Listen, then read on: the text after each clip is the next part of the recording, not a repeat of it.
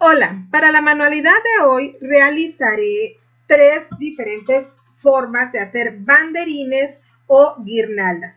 Una muy básica que es de Spider-Man, una un poquito más elaborada que es de unicornios para la princesa de la casa y una como para una adolescente. Estas propuestas son para que celebres el Día del Niño en casa en esta cuarentena y que los peques se las pasen felices toda vez que no podrán salir a la calle. Así que no te pierdas el video.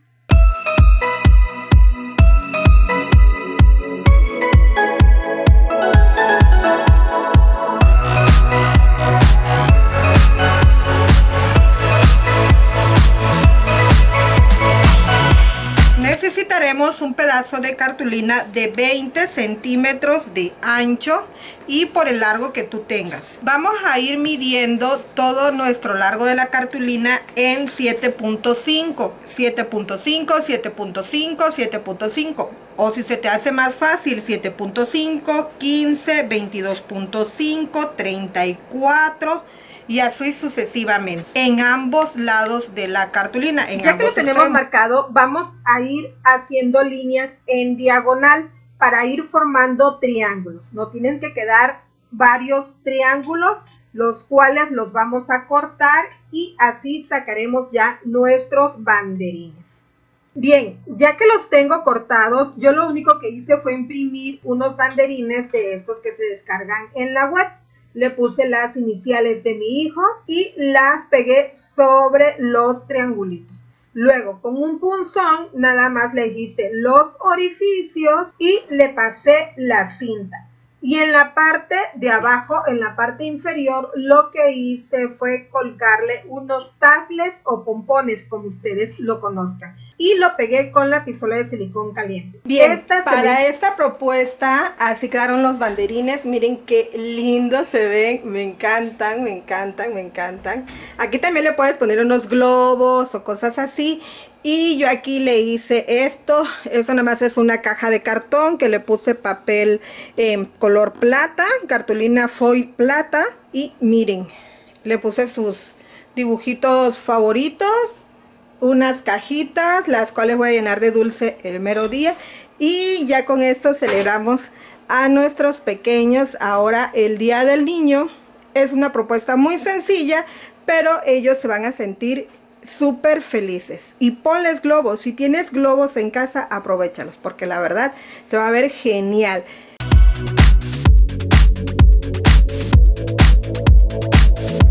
Para esta segunda propuesta vamos a utilizar nuevamente cartulina del color que deseen. Este es color púrpura y medí 18 centímetros. De ancho 18 centímetros por el largo que dé tu cartulina y lo fui haciendo en tramos de 12 centímetros.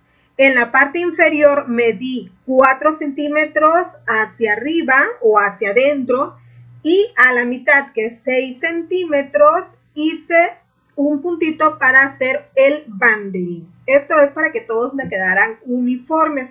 Los recorto y les enseño el avance. Ya que tengo mis banderines, voy a utilizar blondas de esas que son de pastelería. Pero si no, lo puedes hacer con un círculo, con una perforadora o con un platito, hacer la forma y recortar. Lo pegamos a nuestro banderín y las letras yo lo hice con un suaje en foamy diamantado.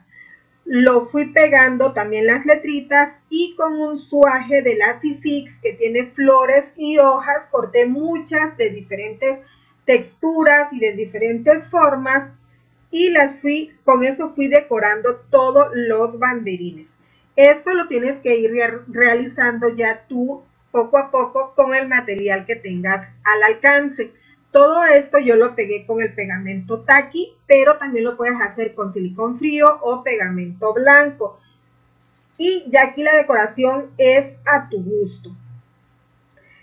Finalmente, así me queda ya decorado. Ahora en la orilla únicamente le voy a poner de esta cinta que es de pomponcitos. También se la voy a pegar con el mismo taqui y ya quedará listo. Ahora con cinta curly bueno, así lo conocemos aquí en México, voy a pasarle en toda la parte de arriba para hacer la cinta para poder colgar nuestros banderines. Y así de fácil está terminado nuestro proyecto. Bien chicas, miren, esta es la propuesta que yo les traigo. Este, aquí quedó el banderín, miren qué bello se ve. Me encanta. Es un detalle muy lindo ahora para nuestros peques en esta cuarentena y celebren su Día del Niño.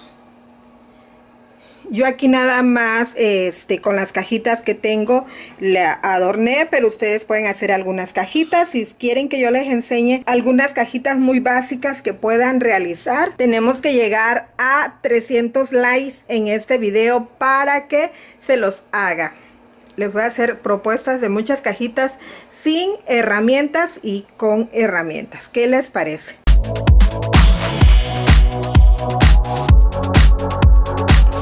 Para esta tercera y última propuesta, yo, los, yo la realicé con suajes, para lo cual utilicé este suaje eh, que tiene como orilla de calado y el circular.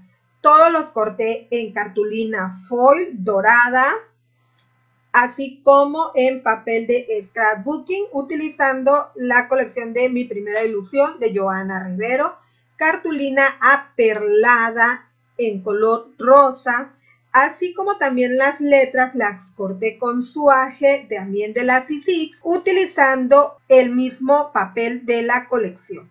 Y para decorarlo eh, tengo muchas cositas como son eh, suajes también de diferentes hojitas, en una cartulina un tono verde oliva que me encantó, que también es nacarada, estoy fascinada con esta cartulina así como también utilicé algunas mariposas en decoupage sospeso que me había quedado de la actividad anterior y aproveché para decorar. Y unos banderines que son muy pequeñitos, que son como tipo flechita, que son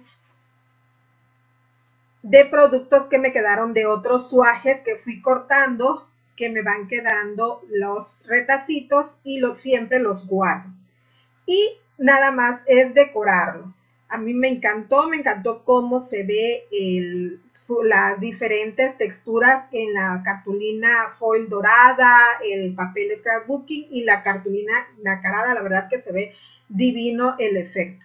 Y fui intercalando. En algunos hice primero el papel de scrapbooking, en otros en medio quedó la cartulina foil dorada y incluso en estos no utilicé el mismo suaje, sino nada más uno circular que tiene como de costura que se ve divino. Para pegarlo, yo le di altura, le di dimensión con foamy, le puse un pedacito de foamy entre el, antes de colocar la última cartulina, la última cartulina nacarada así como también las letras le puse altura, también con foamy, fui cortando muy pedacitos, unos pedazos muy pequeñitos de foamy para irlo realizando. Y para hacer más fácil utilicé una pinza de cejas, con eso lo realicé. Y ya para colgarlo lo que le puse fue una cinta dorada que me encantó y así ya de fácil está listo nuestra tercera propuesta. Bien chicas, miren qué lindo se ve. Esta es la otra propuesta que les traigo. En las orillas yo lo que le puse, miren, fue una florecita para que no se vea la unión, porque este sí lo voy a dejar fijo. Incluso le voy a poner otra guirnalda arriba y otra más pequeña abajo, porque mi pared es muy grande y quiero que quede ahí. Entonces le voy a poner dos guirnaldas que en próximos videos se las subiré y cuando ya quede todo terminado se lo subiré en Instagram. Y miren, qué lindo se ve. Cuando estén las otras dos guirnaldas se verá genial. Cuando tenga las otras dos guirnaldas se verá genial. Así que no se lo pierdan por Instagram. Las voy a subir. Así como también aquí en el canal de YouTube cuando las elabore. Esta es la tercera propuesta que espero les haya gustado. Así que si les gustaron todas estas propuestas no olviden darle un like, compartir este video en sus redes sociales y suscribirse a mi canal. Y recuerden, el último en irse apaga la luz. Bye.